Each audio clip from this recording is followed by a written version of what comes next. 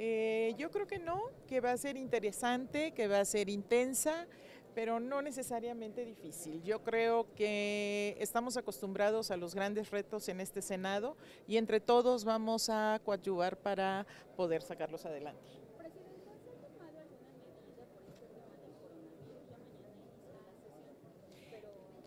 Sí, aquí en el aquí en el Senado de la República, en este edificio y en los otros, en, bueno, todavía no está ahorita abierta la casona de Jicotencal, pero eh, se han dado instrucciones para tomar todas las medidas de precaución, porque hasta ahorita parece ser que en México no, no hemos tenido ningún brote, pero eh, se instruyó al área de servicios generales para que eh, se pongan dispensadores de gel para que constantemente puedan estar todos limpiándose las manos. Hemos estado eh, consiguiendo, porque además ha habido una escasez de los cubrebocas y el área médica, el área del servicio médico de aquí del Senado de la República ya está al tanto, está preparado para que ojalá no sea así, pero ante cualquier eventualidad podamos dar una respuesta inmediata en ese sentido.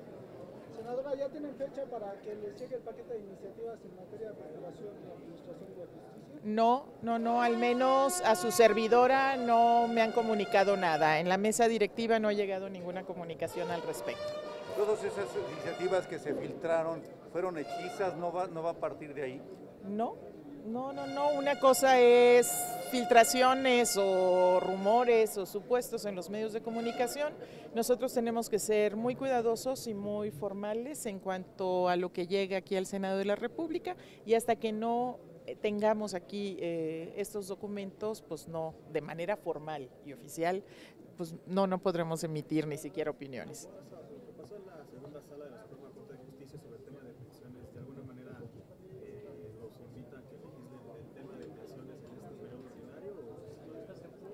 Yo creo que eh, es un tema controvertido, pero al menos hasta ahorita en la mañana el IMSS ha dicho cómo va a venir funcionando y no se vislumbra mayor problemática, sino una eh, esta resolución de la Corte pues es un recordatorio de un pendiente que tenemos en México y es probable que salga algún, alguna iniciativa, nada más que hasta el momento yo no lo he visto contemplado en las ninguna de las agendas legislativas públicas que se han manifestado hasta ahorita.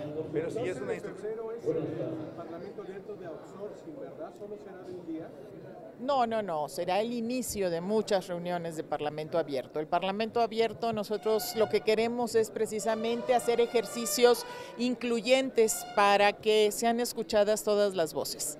¿Se prevén cambios en la ley que ya había sido aprobada en comisiones sobre outsourcing? No te podría decir, tenemos que, tenemos que esperar los procedimientos. Una vez que se hagan los procedimientos, se hagan las consultas, se hagan estos ejercicios incluyentes para escuchar a todas las voces, la comisión tendrá que tomar sus propias decisiones.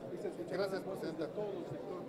De todos, de todos, eso es lo que esperamos. Gracias, Presidenta. Gracias.